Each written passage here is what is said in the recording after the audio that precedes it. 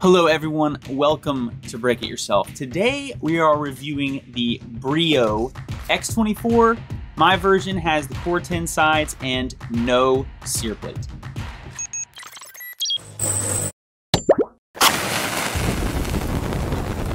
So full disclosure, Breeo did send me this X24 free of charge. So your little shill alarm should be going off because they sent me the X19 last year and they sent me an X24 this year. So just gonna get that out in the open so that you know, take everything I say with a grain of salt. I still try to achieve an as unbiased review as possible. But of course, this company sent me something for free, which is very kind. So keep that in mind. I will say, one of the things that I appreciate most about Breeo in sending me these two products is they didn't ask for anything in advance, not even a review. There was no, I didn't sign a contract, nothing like that. I've had companies, guys, in the past that have been like, hey, we have this product, will you please sign this contract, do a review? I look at the contract, I can't make a competitor's video for three years. They have to have creative input. I have to send them the video ahead of time. Breeo did none of that. They stand behind their product. They're so confident in it that they packaged it up, sent it, and that was it. I didn't hear any pressure about, hey, can we see it? Nothing. Can you say this? Not at all. Absolutely nothing. So that makes me trust them a lot. And I just want you to know that, that not all companies do that. Definitely take any review that something was sent for free, take it with a grain of salt. So I'm just being honest with you, letting you know that this X24 and the X19 last year both were sent.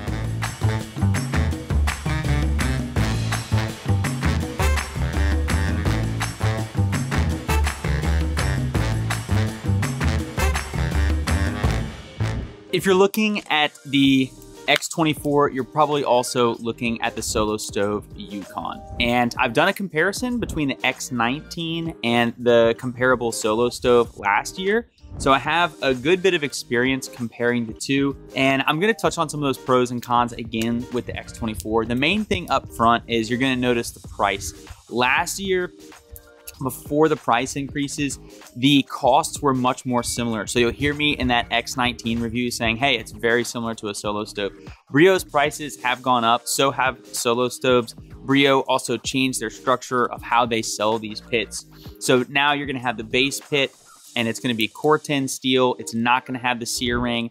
To upgrade to stainless steel is gonna be extra, and then to upgrade to the sear plate is also gonna be extra as well.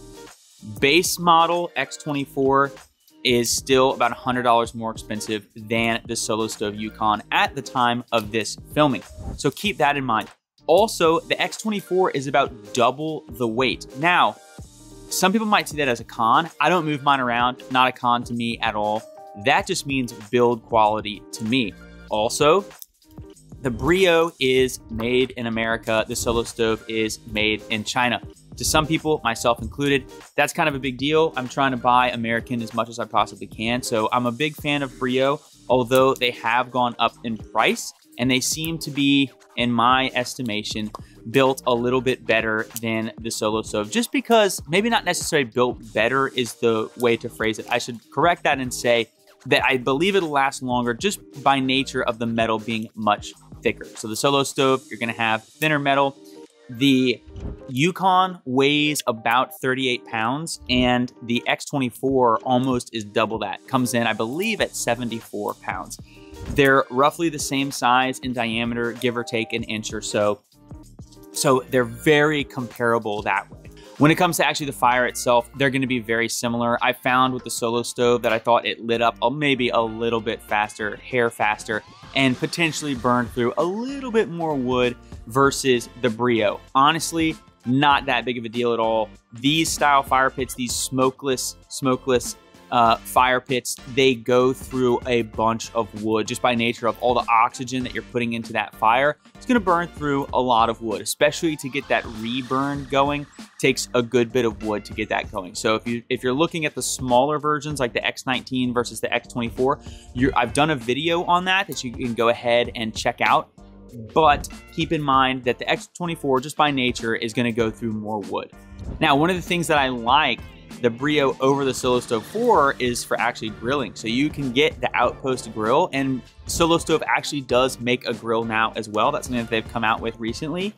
And I'm still partial to the Breeo Outpost just because you can change that cooking height if you want to. And you can also get that sear ring if you want to do that as well. So you could have the grill to do your grilling. You can adjust the height to get different temperatures. You could also get that sear ring as well. So I think it's a little more versatile versus the solo stove system. I'll just give you an example. I'm a big fan of reverse searing steaks. You wouldn't be able to do that on the solo stove by itself. The Breeo with the outpost, you absolutely can do that. You can move the grate up higher away from the fire. You're gonna get a lower temperature at that height and then you're gonna be able to slowly bring that steak up to your, you know, let's say 120, 125 degrees F, and then you can lower that grate all the way down to, to the very bottom and then do your sear to finish with that reverse sear. And I'm a huge fan of that. That would be not achievable with the solo stove setup just because their grilling surface is a set distance from the fire and you can't change that. Another thing that I really like about the Breeo and I'm actually utilizing it now is that you can mount them inside of bricks or pavers or whatever you want to buy. They make a ring that the fire pit can sit inside of. So they make this for all of their fire pits in the X series. And so for the X24, I wanted to try it out. I've got a video all about that as well that you can check out, but I think that is a plus as well because you can really dress this thing up really nice on a patio with a brick surround, and I think it looks absolutely awesome. And uh, that's just not gonna be an option for you with the Solo Stove. So you can get that, looks really nice. I also got the cover for the X24 so that once it's cooled down, I just put, I clean the ash out and I put that cover on and I don't have to worry about it at all. Rain, doesn't matter. I don't even think twice about it. And then when I wanna do a fire, take that cover off, go ahead and build my fire.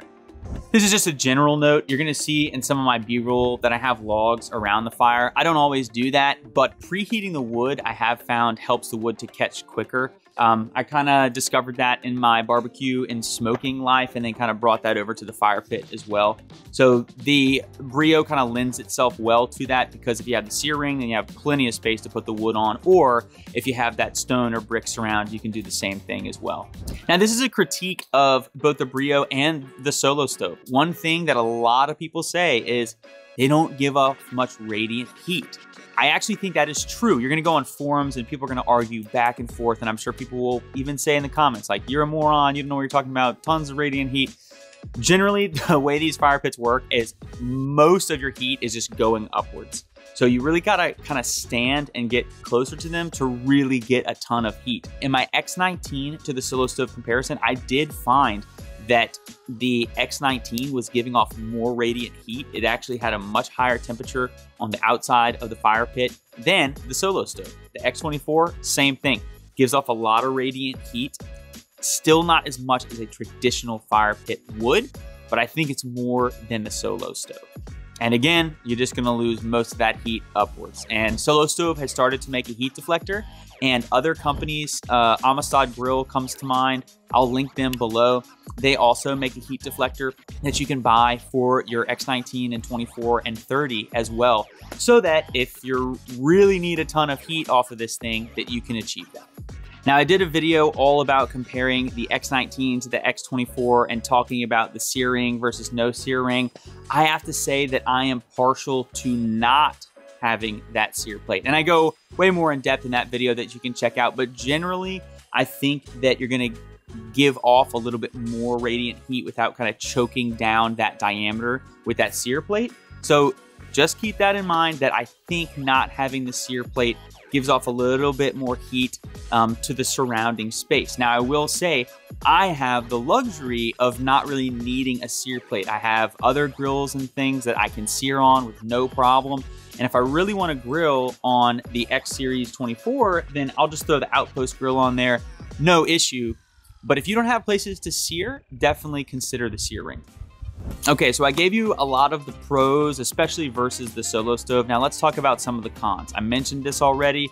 the Breeos are very expensive. I mean, if you're getting into the 24 inch, 27 inch size kind of game anyway, you're looking at 500 plus dollars. Doesn't matter if it's solo stove or Breeo. So it is very expensive, but the Breeo, I mean, if you wanted to make it stainless steel and you wanted to add the sear plate, you are getting into significant money. You're looking at six, seven, eight hundred dollars for a fire pit. Add in the outpost grill, you're looking at another $120, 150 dollars. So this thing can add up very quickly. You want to get the cover, or the, at least the steel, I'm sorry, the steel cover. They also make a canvas cover. You're looking at the steel cover, another $125. You want the ring to be able to mount it inside of stones or pavers. I mean, all these things can add up. It's very expensive. I do like the product. I am a fan of the product. I think it's very well built and it's gonna last, especially compared to that thin wall solo stove, but it is still very expensive. Another con and I pointed this out on the X19 video last year, and I try to say it really in all of my videos. Versus the Solo Stove, the Breeo gives off significantly more heat on the bottom of the fire pit itself. I was very impressed with the Solo Stove that on the underside, I really felt safe. It was up on a stand that I had, and I could kind of put my hand under there, no issue. I would really have no problem putting it on my deck and did multiple times. The Breeo definitely gets much, much hotter on the bottom. I would not put it on a deck. If you put it in grass, you're absolutely gonna kill whatever grass that you have there. And please listen to this. If you have a patio, you put it directly on a patio, you can damage the concrete. What's gonna end up happening is that concrete directly under the fire pit is gonna wanna expand and it can't go out, so it's gonna end up going up. So you can get these kind of craters created in your patios. So be careful. They suggest putting it on stone. You can put it up on pavers as a, very cheap solution. You're definitely going to want to consider putting something underneath it. Again, I'll say this Amistad Grill Company, I got a stand um, that I bought from them. This is not sponsored by Amistad by, by any means, but they had a good product. I bought one for my X19 and it was awesome. It sat right in it, had a footrest, kept it up off of my deck, really shielded the deck from that heat great product. I've had it outside for a year. It's just black steel and um, or painted black steel, and it's done an awesome job. So you can check those out as well. But again, just an added cost to kind of achieve whatever it is that you're going for. The last con of the X24, and this goes for I think all X series, because they have that X in the bottom of them, they are a little challenging to clean out. So Breeo makes a tool. I just use a little garden trowel. Maybe it would be easier for me if I had the proper tool, but cleaning I think can also be a little bit of a pain. It seemed in my limited testing that the Solo Stove did a better job of just burning through absolutely everything and not having much ash left over at all. The Breeo it's my perception that I'm getting more ash left over and then I'm having to clean it out, which is not that big of a deal. I mean, you have you would have to clean the solo stove anyway as well. I just think the Breeo was a little bit more ash and cleaning can be a bit of a challenge. If you have the right tools, I think it's fine, but you definitely are gonna wanna clean it out before you let it get rained on or anything like that. You don't want wet ash sitting in the bottom. Doesn't matter really how thick your steel is. That's just not a good recipe for corrosion right there. I hope this review and pros and cons of the Breeo X24 was helpful for you in your journey in trying to select a fire pit. Again, I'm a fan of the Breeo, but I cannot decide for you. So again, I hope this was helpful. Thank you so much for watching Break It Yourself. As always, don't forget to thumbs me up, and we will see you next time.